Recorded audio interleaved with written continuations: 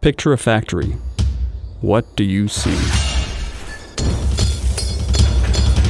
The manufacturing industry is changing.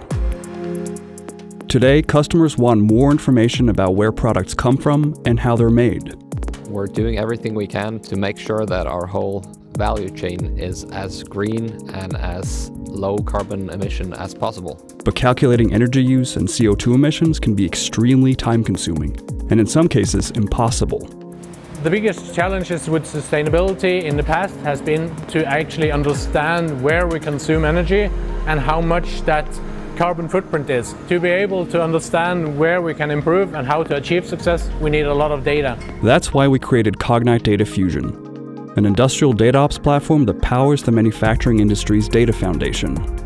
Cognite Data Fusion has enabled us to do this, contextualizing all the data, being able to understand each process and the impact on the environment. To begin with, it was like, okay, so what do we do with this data? And then they were just looking at it and it's like, wow, that's amazing. We can actually see what's happening in our plant at the level of granularity that we've not been able to do. And I can do that while sitting in a cafe in France, trying to think about how to solve some of our core problems. Cognite Data Fusion connects data from every machine and every product, making it possible to track the climate footprint of every step of the manufacturing process, and even produce sustainability reports automatically. Having access to all our energy data, we can now see and compare with the rest of the world.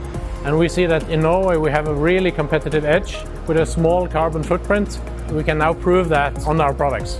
For Aarbakke så er bærekraft noe for å tiltrekke seg de beste folka, i tillegg for å finne og vinne de beste jobbene. Jeg er overbevist om at hvis vi klarer å være best i klassen, så har vi de beste folka og de beste kundene.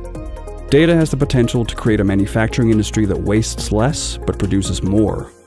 Cognite Data Fusion makes it possible.